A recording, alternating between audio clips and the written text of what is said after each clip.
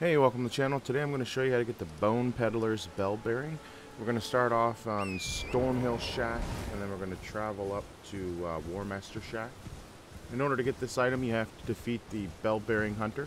Uh, he is a pretty tough enemy, uh, so if you're a low level, you may want to hold off on this until you uh, level up a little bit. My character was level 69 when I uh, defeated him.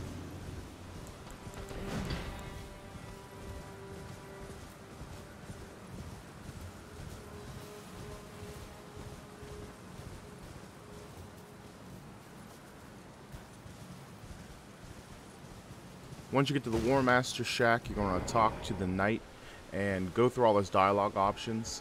Uh, that's what I did. Um, and then after you're done talking to him, back out, and you're going to have to rest um, at the site of grace. I did it until um, nightfall. I had to do this twice actually to get this to trigger. Um, it's hit or miss. Um, I've done it where he spawned after I did it once, and this this time I had to do it twice. So just keep that in mind if he doesn't appear.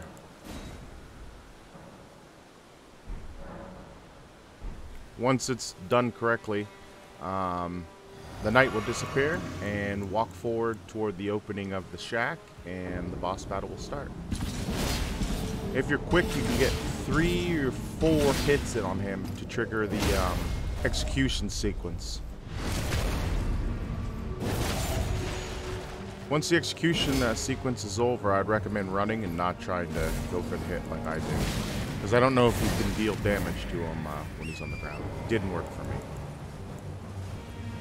So as you can see, I uh, did the battle on horseback because, well, he has quite the range on his attacks. Uh, he can actually, like, cast a sword towards you. And uh, if it hits you, it hurts quite a bit.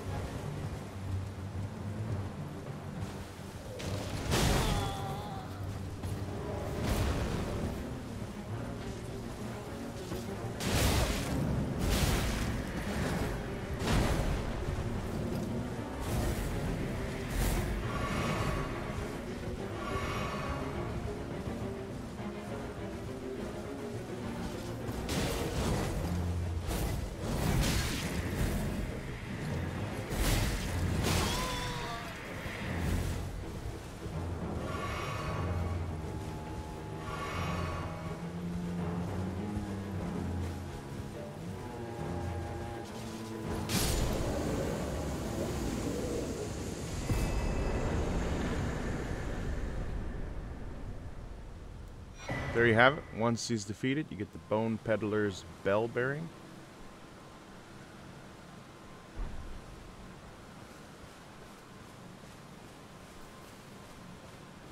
Now you're going to want to take the bell bearing to the Roundtable Hold and give it to the Twin Maiden Husk.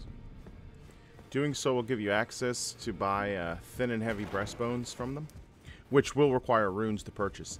That's the end of the video. If you enjoyed it, please make sure to like and subscribe, and I'll catch you on the next one. Thanks.